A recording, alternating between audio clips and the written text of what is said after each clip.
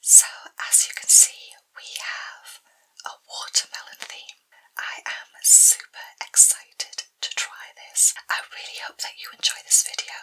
If you do, please give it a big thumbs up. Don't forget to subscribe and to turn your notifications on too. Thank you. Okay, let's get on with it and we'll go through see what we've got. So on the front here we have some yummies chewy candy with watermelon juice. We have some watermelon and cherry nerds, some Mike and Ike candy. We've got